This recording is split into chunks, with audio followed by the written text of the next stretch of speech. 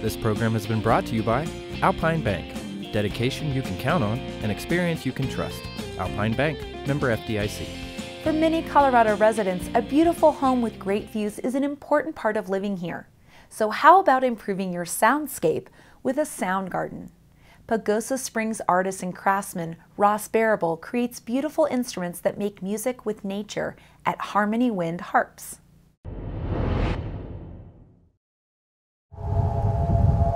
The wind harp has been alive and well for centuries. Most cultures have their own form of wind harp, but what I bring to this art form is building them out of metals in a sculptural format so they can be outdoors, they can last forever, and using sacred geometry to build the different designs.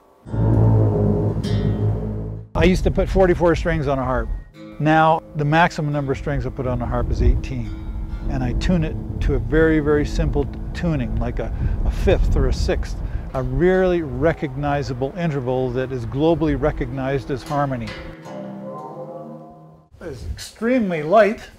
If I can fit that up there. Perfect. So this is this is my latest wind harp. It's totally made out of titanium.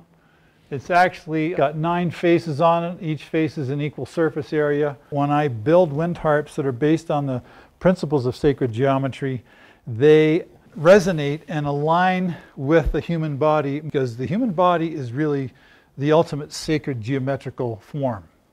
Sacred geometry creates the shape of the flowers, down to the spin of the nautilus shell, up to the giant spin of galaxies as they expand in the cosmos. There we go. There we go.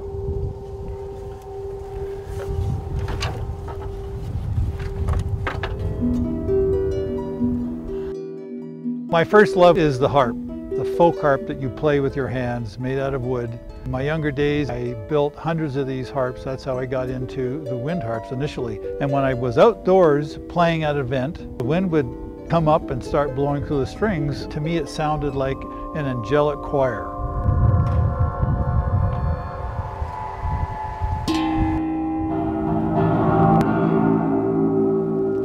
I started building these harps in 1980 and I've built about 500 wind harps. They're all over the world, mostly in North America. Private residences have bought them. I've done many large-scale public installations.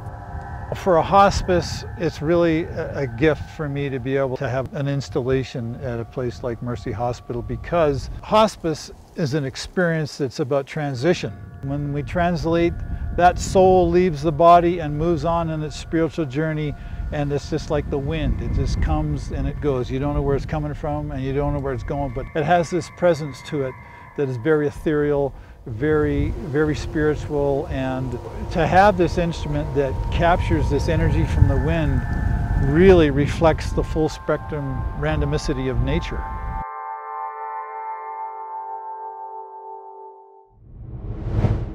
If you're interested in learning more about Ross Barrable and Harmony Wind Harps, visit his website at harmonywindharps.com.